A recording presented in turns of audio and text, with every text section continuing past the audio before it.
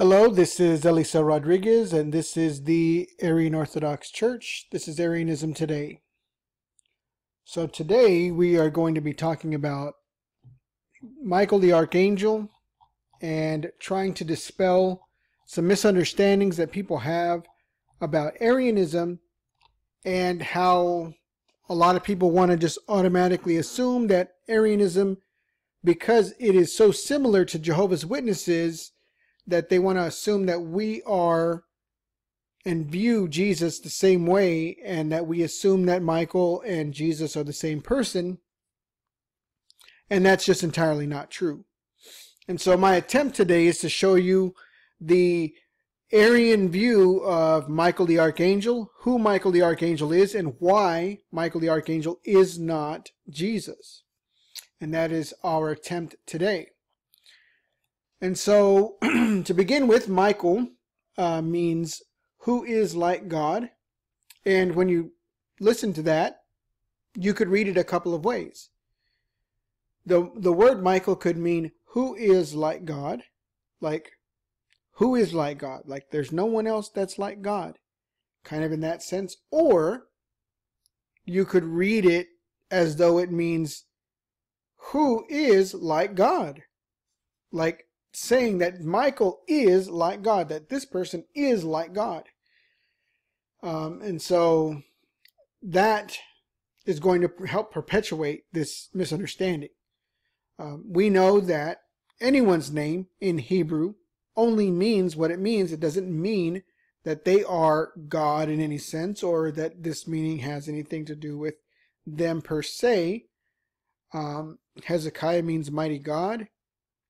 Um, Elijah means uh, sovereign Lord. Eli- Eliseo, my name means uh, God is my salvation. It doesn't mean any more than than that. It doesn't mean that I'm the God of salvation. It doesn't mean that my son's uh, the sovereign Lord. Uh, his middle name is Adonai. It doesn't mean that he is, you know, the sovereign Lord Adonai. It's just a name. So when you see Michael, it means who is like God. It means there's no one it's a rhetorical question. There's no one like God. That's that's the sense of the word. If you read too much into it, then these are the things, you know, you're going to come into some error. So the first time that we see Michael the archangel is in Daniel chapter 10 verse 13. And it says, But the prince of the kingdom of Persia was withstanding me for 21 days. Then behold, Michael, one of the chief princes, came to help me for I had been left there with the kings of Persia. Now, let's, for anyone who doesn't know this verse, uh, this is Gabriel who is telling this story, the angel Gabriel. And when you read in the beginning here, the prince of the kingdom of Persia, it is not talking about an actual human prince of the kingdom of Persia. That the angel Michael went and had a battle with because somehow a human was able to withstand or hold back an angel from delivering a message to Daniel.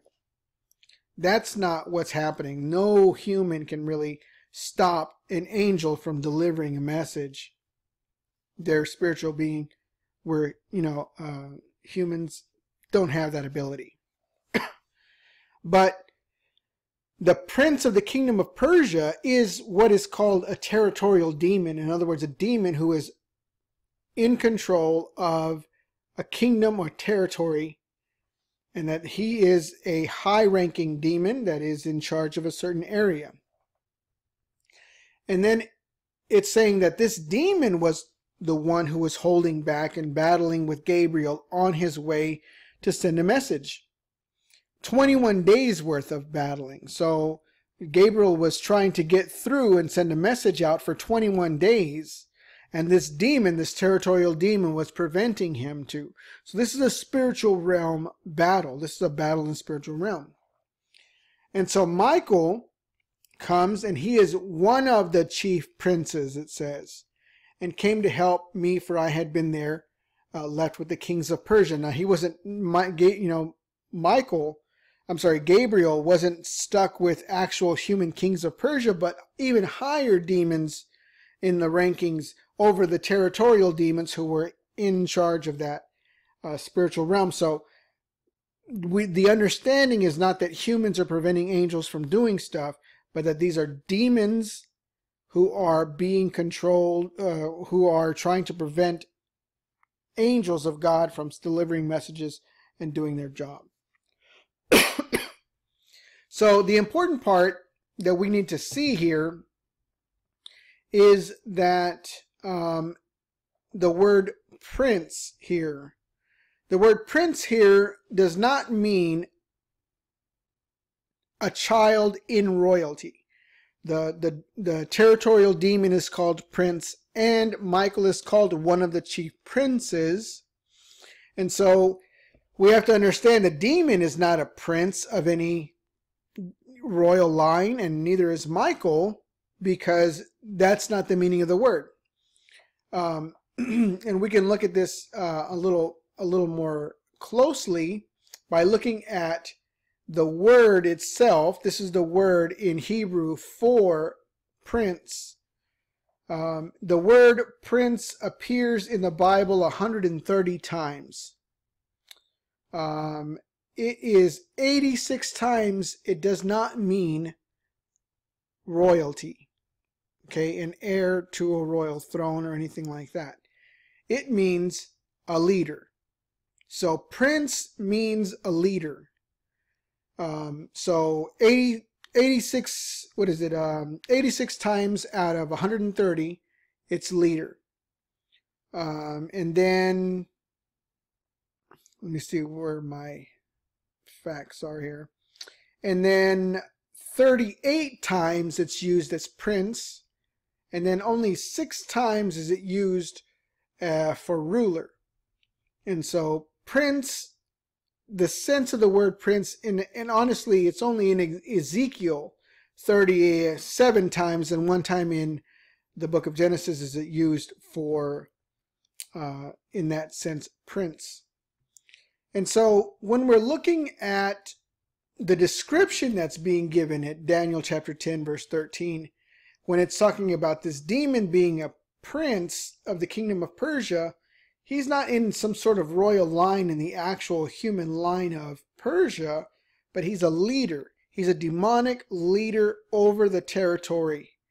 And when it's talking about Michael being a chief prince and one of the chief princes, it's talking about Michael being one of the leaders, and that's his role as a leader in the defense of the interests of God in Israel and the Israeli people.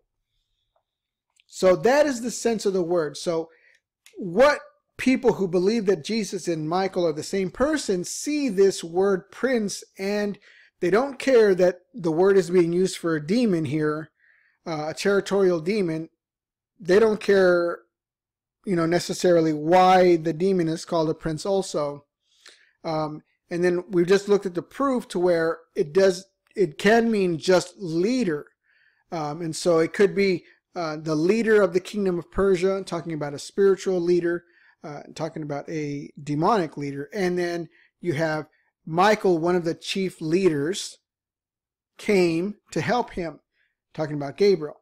That's the sense of the word that you should find out, that you should see that that's what it's saying. And it's not saying that Jesus, I'm sorry, that that um, Michael is Jesus and that he is the prince of the, the, the Father God, right? That God the Father on his throne, that G, that Michael is this um, prince, that he is a prince for that reason.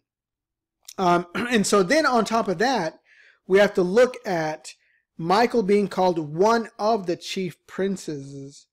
Um, and so he is a, he is one of um, a, a, a certain more than one number of princes. And so these leaders, he's a chief leader, but there are obviously other chief leaders because he is one of a variety, an unknown number of other leaders. And so the problem with that in uh, in that what we need to understand why it's a problem is because Jesus is called an only begotten son. Only begotten God. It says here in John chapter 1 verse 18. And so Michael is being characterized as being one of a variety of leaders. And if you want to take the word prince and take it in its most literal sense and say that he is one of the princes, um, then you have to explain why Jesus is said to be the only begotten God, only born God, the only born Son of God, and why uh, Michael is one of a bunch of princesses. And so there is a difference there. And we know that, you know, the argument can come up that um, Isaac is called the only begotten son of Abraham, and that because, you know, Abraham actually did have Isaac also, that he's not technically the only begotten son. But I think in the sense of God saying that Abraham was going to have a child by promise, and Ishmael was not the, the child of promise, and pretty much kicked Ishmael out of his family line, um, and pretty much just divorced him or got rid of him, tossed him out um, Isaac was left to be the only begotten son of Abraham because he's the only begotten son of a promise. So, regardless of how you want to look at it, he is the only begotten son of this promise. And so, Jesus is the only begotten son that is made directly by God. So, we're going to look at the differences between, uh, because if Michael is called one of the chief princes, then it means that he's not an only begotten child. Um, and so that speaks of other princesses. And then so the argument would be that angels are called sons of God in the book of Genesis, angels are called sons of God in um, Psalms 82, possibly, could be uh, judges, um, but it's it's happened before when the devil came up in the book of Job, and uh, the sons of God were there as well. This sense. and so I think in this sense of the word, we have to look at and kind of scrutinize something that we don't normally get to teach on, and I'm glad that I'm able to teach on it today, is that when you think about in Luke, the first Adam is called the Son of God. And then Jesus is called the only begotten Son, or the only, only begotten God. And in John chapter 1, Jesus is said to give us the power to become sons. Now, something I want you all to think about. If Adam is called the Son of God already without Jesus, and then Jesus is giving us the power to become sons of God through Him, through Him, through Christ. We can become sons of God. There are two senses of the word Son of God here. Adam, in the book of Luke, is obviously not the same kind of Son of God that Jesus is. And so we have to look at if God has created you through Jesus, then it's not wrong to say that he is your father. And it's not wrong for God to say that you're his children. He made you. So in some sense, we are all children of God. But God created Jesus directly. In other words, he didn't use Jesus to create Jesus. God on his own by himself made Jesus. And so the only created being who is made directly from God, the only thing to have come into existence directly from God without any mediator is Jesus. And so, in that sense, Jesus is the only born only begotten Son of God, because God Himself created him alone. And so everything else that exists has come into existence through Jesus. Although God gave him the power and those things are done by the command of God and God is actually the ultimate source of even Jesus' existence.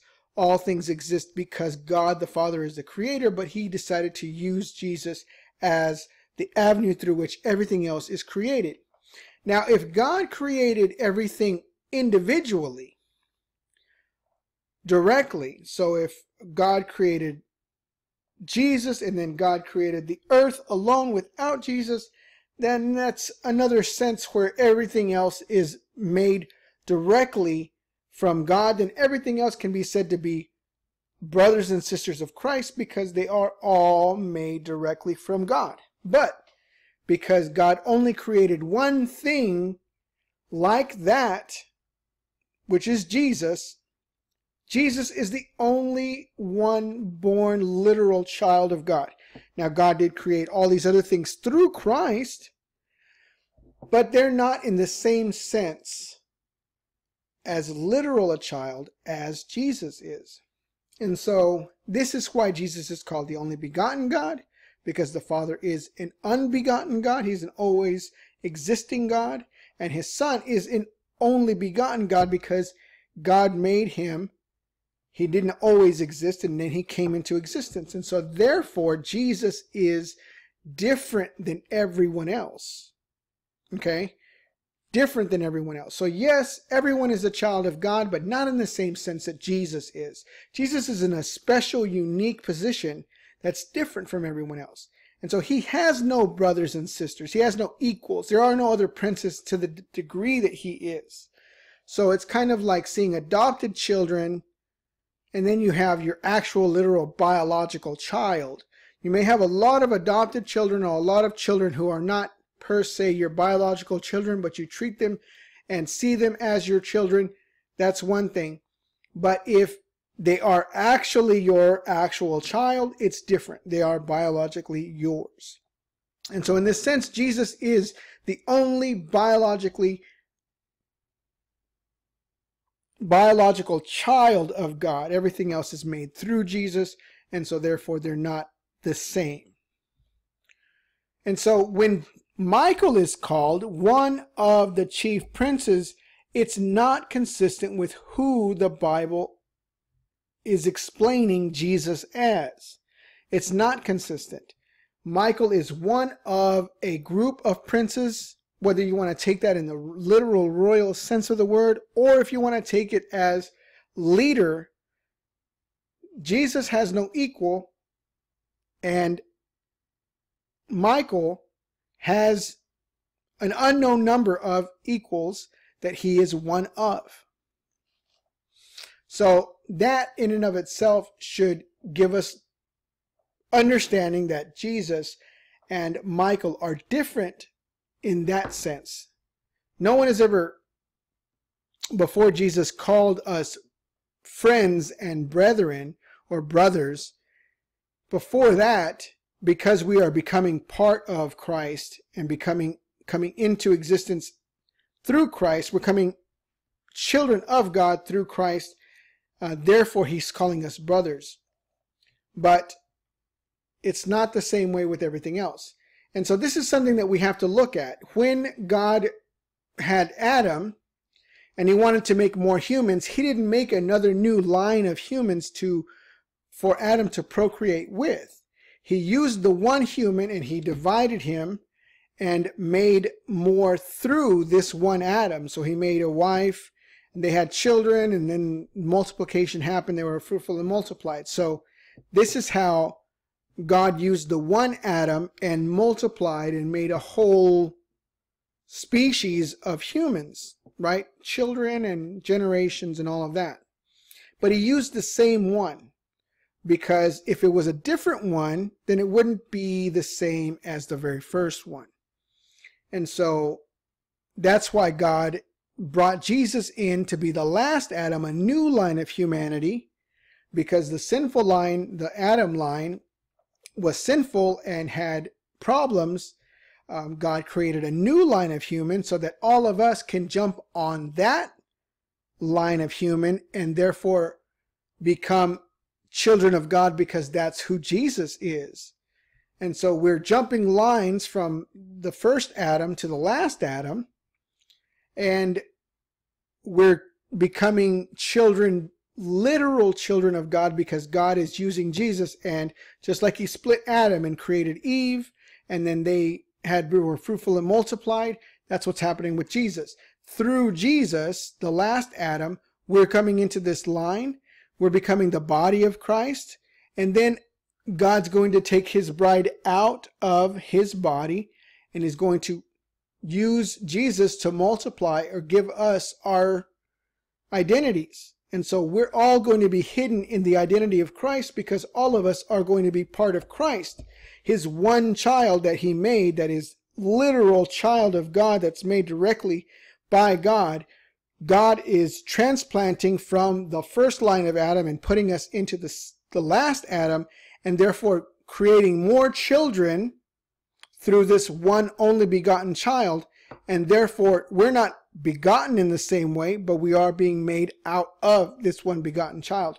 So Jesus will always be the only begotten child, and we are being taken out of the only begotten. So we're not being begotten, we're being fashioned out of. So it's different. Jesus will always be the only begotten literal child of God, and we are going to be literal, as literal children of God as Jesus is, but none of us were begotten that way. We started in a different form and became that. So, in this sense, we have to understand that Michael is not the same way. Michael is made through Jesus and is not in the same sense a child of God. And in that same sense, and that's kind of why everyone is kind of uh, amazed at what God is doing by getting these this dust of the ground and creating and making us to the elevated point of being actual children of God. So Jesus is the whole point of that is that Jesus is the only begotten son of God and he has no equals. Even when we're made through him, we're not technically equal because he is the only one begotten this way and the rest of us are being fashioned out of him. It's different. Um, and so there are no equals to Jesus and Michael is said to be one of the chief princes. And so that's what you have to look at. See that one of the chief princes. And so the identity already on the first verse is already obvious that Jesus and Michael are not consistent with each other. So the next place we see is in Daniel chapter 10 verse 21. It says, However, I will tell you the, uh, what is inscribed in the writing of truth, yet there is no one who stands firmly with me against these forces except Michael your prince. So it says that it calls Michael your prince to um, to the Israelite people, that Michael is your prince. Now, if you want to take it that it, it means prince, you have to at least acknowledge that it does could also mean leader. And in this sense, when I'm reading this, it's saying that that Michael is your leader, and leader in defense of you. So he is the guardian angel of you is the sense that I'm getting here that he's the leader, he's an influence, he's an authority. He is for your protection, but not necessarily as a worshiped as the Messiah. And so that that's why its meaning is that he's a guardian angel, that he is on guard, that his job is as a as a bodyguard essentially. And so what we're what they're failing to understand is that they're looking at the bodyguard and saying, "You are my savior," when in reality, um, it's it's a function of his job, but he's not the savior. He's not the Messiah, and so that's what he is. It's saying that he is, and this is the way I'm reading it, that he is a guardian angel, that he is a bodyguard, or a, a you know the the head of your personal private protection. Um, so then we look at Daniel chapter 12, verse 1, and we see confirmation that Michael is a guard. He is he is a guardian angel, not the Messiah, and that his role is as guard, protection. He is your bodyguard, he is your you know, private protection team. He is your security team. He is the head of, you know, the secret service for the nation of Israel in the spiritual realm. And so we're seeing confirmation that the sense of the word is that Michael is the great leader who stands guard over the sons of your people. When you read it that way, you understand the actual sense of the word and not that he is a part of royalty, okay? Um, because we have to look back and see if that's the case, then why are the demons part of royalty and what royal family are they from? Um, and in that kind of sense. And we know that obviously the Father is not their royal, they're not heirs to the throne of God. The demons aren't. And so we can't take it that way for them. And so it's it's conceivable that we shouldn't take it that way for Michael. It's just a, the way we need to look at these things. So now at that time, Michael, the great prince who stands guard over the sons of your people, will arise, and um, and this is going to be where people start seeing the messianicness of Michael. It says, and there will be a time of distress such as never occurred since there was a nation until that time, and at that time your people uh, whoever is written in the book of life will be rescued. And so they're seeing that Michael is going to arise. Ooh, you know, he's he's he's going to arise. But what is his function? It already talks about that he's he's a guard, that he is a leader, he is an influence, he's an authority of protection. We can see the, the, the, the actions that he's done in the previous two verses and how he's protecting Gabriel from sending, you know, to send the message that he's supposed to, his job is obviously as protection, as as a force of God's authority to battle demonic forces for the interests of God in Israel and with the Israeli people. Now, when you see that he will arise, this is a chronological, this is a prophecy. And so this is what's happening. The prophecy is saying what's going to happen in chronological order. That, that there's going to be a point when Michael arises. What is he going to do when he arises? He's going to battle the devil. And there will be uh, tribulation, the distress. That's what's going to happen after the fact. So there's going to be war in heaven, and then there's going to be this tribulation after the fact. And then everyone who's found written in the book of life will be risk, rescued. None of this is insinuating that Michael is the one who's doing this. It's just telling you that this is the order. There's going to be war in heaven, and then there's going to be this tribulation, and then after that, the, the, the, everyone who's written in the book of life will be rescued. That's what's the order of what we're reading here. And then after that, the next verse says, And many of those who sleep in the dust and ground will awaken. Now it's talking about resurrection. These to everlasting life, and others to disgrace or everlasting contempt. So now we're seeing that they're talking about resurrection. So before there was Michael arises, and then there's this tribulation, and then there's this, you know, salvation for those who are written in the in the book of life, and then there's resurrection here and then some of them are going to hell and some of them going to heaven. This is a super condensed version of what the book of Revelations looks like.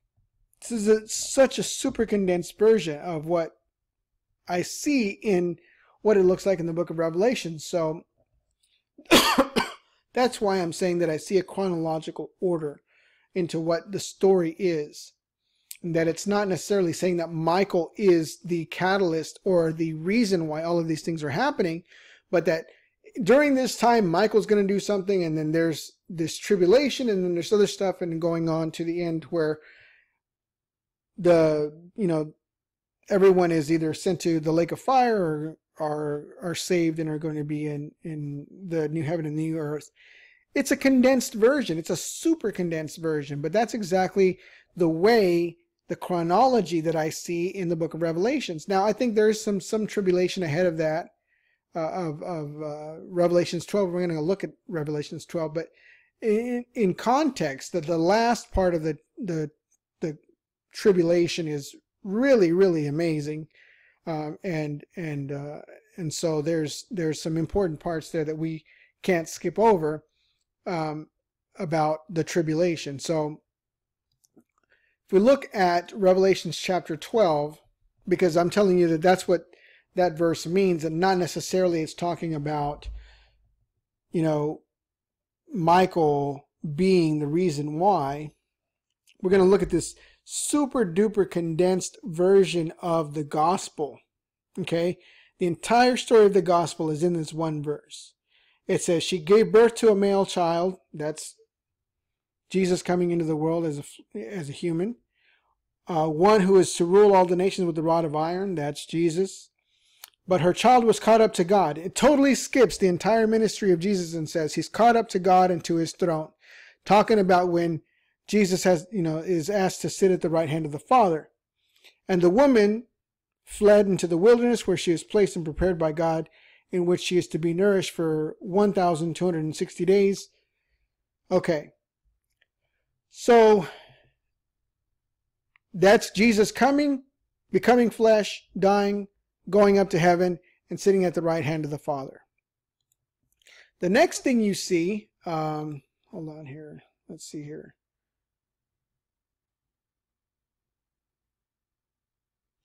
Oh, that's both of them. And so the next thing you see is, let's see if I can get it.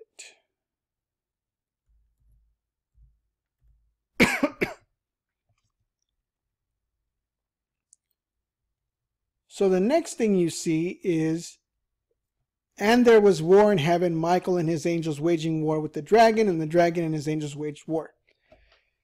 So Jesus is sitting at the right hand of the Father, and you have to understand what the scripture says about Jesus sitting at the right hand of the Father. So it says here in Mark 16 19, so then when the Lord Jesus had spoken to them, he was received up into heaven and sat down at the right hand of God. So after he talked to the disciples, he went straight up into heaven, did his ministry, you know, offered his blood, and sat down at the right hand of the Father. Okay? He sat at the right hand of God. Now, if he's sitting at the right hand of God, why is he sitting at the right hand of God? And so we need to look at this other scripture. This is uh, Psalms 110. It says, The Lord says to my Lord, Sit at my right hand until I make your enemies a footstool for your feet. Who is speaking? It says, The Lord, Yahweh, right? So Yahweh says to Adoni, which is the Messiah. So Yahweh says to Adoni, sit at my right hand, right hand of God, right hand of the Father, until I, who's the I? Yahweh, the Father, until the Father makes your enemies a footstool for your feet. So the Father is supposed to make the, um, the enemies of Jesus the footstool, not Jesus. And so it says, The Lord will stretch forth your strong scepter from Zion and rule in the midst of your enemies and keep going and keep going. And, and at the verse 4, you are a priest forever according to the order of Melchizedek. We know this is Jesus. and so now, the role of Jesus is after he gets to heaven to do what? To sit at the right hand of God and let God himself take care of his enemies. So as soon as when we're looking in Revelations chapter 12, so as soon as we see she gave birth to a male child, one who is to rule with the, uh, uh, all nations with the rod of iron, but her child was caught up to God and to his throne, and the woman fled. So that's Jesus dying and right and going uh, up to God and sitting on his throne. It says right after that, right here in verse 7 Now war arose in heaven, and Michael and his angels fighting. What's happening? Jesus went up to heaven and sat at the right hand of the Father, and the Father said, I will make your enemies a footstool. So, what's the first thing that happens after Jesus sits down at the right hand of the Father? Michael goes and starts war in heaven against the devil. So, if Michael is the ark, I'm sorry, is the Messiah, then he has no job to do besides sit at the right hand of the Father? If G, if Michael is the Messiah, then he should be sitting at the right hand of the Father, waiting for the Father to send his forces to make his enemies his footstool. Earth is the footstool. And so if you look, he's sending, God the Father is sending Michael to go fight this war. While Jesus is sitting on the throne at the right hand of the Father. And so that's what's happening. And so when all the demons are placed on earth and are confined and cornered on earth, the footstool, that's where they lay until judgment. And so, and so, what are we seeing here? That Jesus can't, that, that Michael the Archangel cannot be Jesus. Michael the Archangel is absolutely out of his element if he were.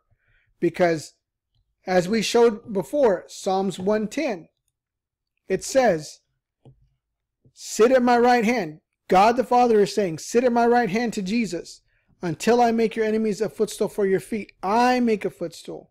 I make your enemies a footstool. That means that the Father is the one who is in charge of getting that done.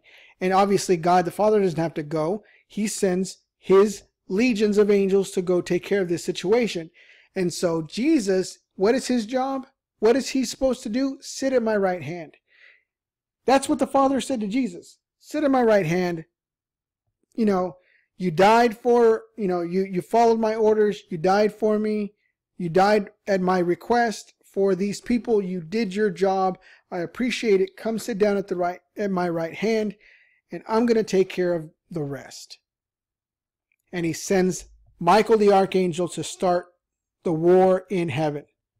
So, what are we seeing? We're seeing that Jesus and Michael's identities are different because Michael is doing the Father's bidding and he's fulfilling the Father's promise to Jesus. So let's read it again. Sit at my right hand until I make your enemies a footstool for your feet. And he, who's the first thing that he sends right after Jesus in the book of Revelations? It says he goes up to heaven and sits at the throne on the throne. What does it say? Right afterwards, verse 7 of chapter 12. So chapter 12, verse 7. This is 6 this is 5 and 6. It says, But her child was caught up to God and to his throne. That's when he died and rose again and was caught up to God and to his throne. So he's at the right hand of the Father. Verse 7 Now war arose in heaven, and Michael and his angels. Exactly. Exactly. They're two different people. They're not the same. They're not the same. So, um, let's see here. And so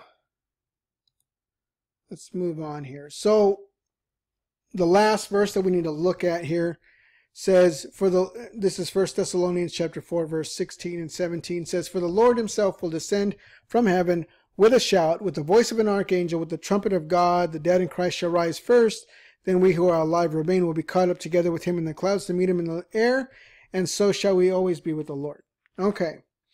And so the people who want to make this connection between Jesus and Michael see this archangel um, comment and want to say that that this is proof that somehow Jesus is making some sort of archangel call or something. Um, but what's really happening here is the old Jewish marriage tradition where, you know, a couple gets engaged, they write uh, um, a covenant, a marriage covenant. Um, and if you if you guys should probably study this because it has a lot to do with um, this entire story, even in the book of Revelations, the marriage feast, the um, a, a, whole lot of stuff about Jesus. So it's really good to look into this marriage tradition to get a lot of revelation about what's really happening in the New Testament. But um, so the the marriage uh, tradition is is that after they sign this marriage covenant, the um, the the man goes and, and takes off and goes to his father's house and starts building a place for his wife and him to live at their home at his father's house. And so this is kind of uh, reminiscent of when Jesus says, I go to prepare a place for you. In my Father's house are many mansions. If it were not so, I would have told you. Uh, if I'm going to, you know, prepare this place, I'm going to be back. I'm going to come get you. All of these promises are part of what, you know, a husband in this marriage, in this, in this uh, marriage covenant would say to his wife, Hey, I'm going to leave. I'm going to go make this place and you be ready when I come back to come get you. And so while he's off building this thing, and it, from what I understand, it took about a year to build this addition to their house for them to live in. um, the woman is gathering together things that she's going to want to take to her new home. And she's got her wedding dress ready. She's got her bags packed. She's got her, you know, how she wants to do things. I mean, she's got all, all her new wardrobe or whatever, whatever her plans are and the material that she has. And she's just to be always ready for him to show up at any time to do this. And so this guy is going to start building and building and building. And the, this husband doesn't know when he's able to go and retrieve his wife until his father says, you know what? You did a great job. This is absolutely finished. Go get your bride, bring her home and consummate the marriage because they haven't seen each other for a year or whatever. The husband's married to her and he's, I'm sure, ready to consummate the marriage. He wants to get this started. So he's waiting for the father to tell him, you're ready to go. This is, this is a perfect place. And so same thing with Jesus. Jesus doesn't know the day or the hour when he's supposed to come back because he doesn't know when the new heaven and the new earth and the new Jerusalem and everything that he's constructing over here in the new universe is going to be ready. But when it's ready, the Father's going to say, Jesus, it's done. Let's go get your bride. And at that point, Jesus isn't going to waste any time. He's going to get on that horse and he's going to get out there and start regulating on everything. Same thing with the husband. He's going to go and come back. Well, the tradition is is that the best man and his friends are going to go out there and start blowing shofars and saying the bridegroom cometh and all of this and make you know singing songs and all of that and depending on how far away she lived um, everybody knows she's getting married and everybody knows who they're who they're coming and they're saying the bridegroom's coming you know everybody's seeing this and they're like oh it's time and they're all running to her house faster than you know these bridegrooms are going because they're going to be taking their time. I'm sorry, um, these uh, these best men are doing uh, because they're going to be taking their time because they want her to be ready. Well, everyone else is running faster than they are, trying to get to the bride and saying, "Hey, your your your husband is coming to get you. Tonight's the night. You know, get ready." Um, and so she's got to start getting dressed and have all of her bags packed. All the girls, depending on whether it's dawn or daytime or whatever, um, have to get their lamps together and all of this stuff. And that's kind of that that that parable about you know half of them didn't have enough lanterns to wait for the bridegroom to come, and some of them had enough oil and all of that. So when they come, so when they come, they you know the ones who have light can follow them all the way back to the house.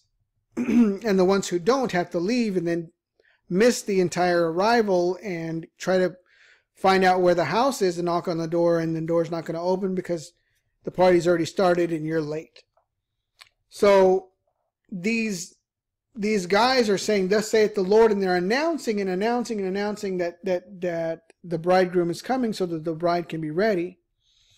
And so, in this verse, it's talking about this very thing that the Lord himself will descend from heaven with a shout, not his shout, but the shout of the voice of the archangel who is saying, Here comes Jesus. You know what I mean? I mean, here comes Hosanna. You know what I mean?